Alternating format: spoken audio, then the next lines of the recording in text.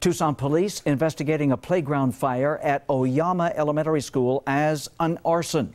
This is what the playground looked like today. The fire happened last night. If you have any information, please call 911 or 88 Crime.